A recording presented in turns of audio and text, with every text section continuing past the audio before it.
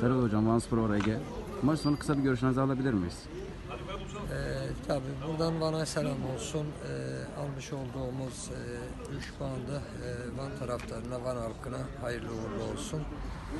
Ee, yolumuza devam ediyoruz. Ee, güzel bir maç, maç oldu. Oraya Hocam maç sonu kısa görüşlerinizi alabilir miyiz? Ya e, bu tip maçlar hakikaten zor maçlar. Konsantreci ol, konsantre olması da, oynaması da hakikaten zor maçlar ama e, kazaya uğrayabileceğimiz maçlar. Rakibin geçen hafta Kırklareli'nin aldığı bir beraberlikle e, moral motivasyonu üst düzeydeydi. E, bizim e, oyuncu arkadaşlarımız da maça gereken önemi e, gösterdi. Daha fazla da olabilirdi. E, ama olmadı. Problem değil. E, önemli olan buradan e, galibiyetle dönmek. Önümüzde çok önemli bir karşılaşma var Turgutlu karşılaşması.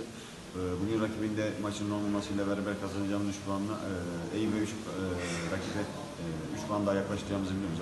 Aradaki puan farkımız 3 puan. Bunun için sahaya çıktık. Çok şükür başardık. E, iyi bir e, futbolla 3 puan aldık. İnşallah darısı önümüzdeki diğer maçlara. Tebrik ediyoruz. Teşekkür ederim.